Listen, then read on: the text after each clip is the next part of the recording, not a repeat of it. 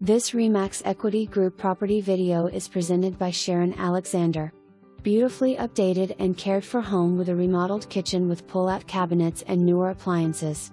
Large living room with a fireplace flows into a nice dining room with a slider out to a private patio and a fully fenced yard. Master bedroom with a half bath. Large attached garage with loft storage and a workbench. Newer AC and hot water heater. Great location. For more information, review the details below or contact Sharon Alexander at 503 666 2020.